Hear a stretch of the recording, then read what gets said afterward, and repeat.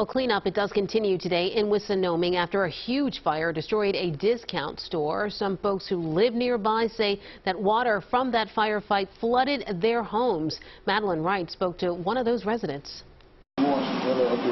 Andre Campbell shows us the damage to his basement after a fire at the Dollar Tree next door. He says all the water firefighters used to put out the flames created a river that flooded his bedroom and laundry room. It was so bad. Everything flooded out in the basement. Bed, dresser.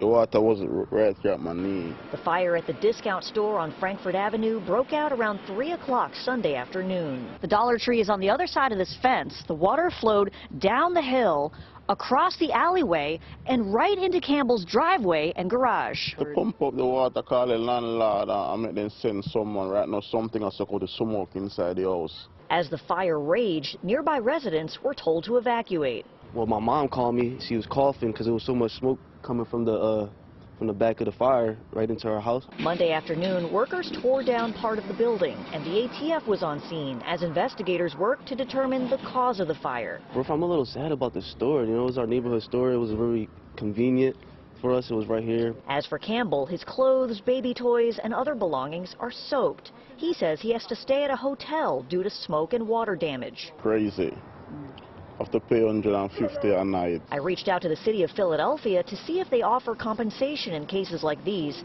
I'm still waiting to hear back. Campbell says he doesn't have renter's insurance, but he's working with his landlord to determine his options. In Wissinoming, Madeleine Wright, CBS News, Philadelphia.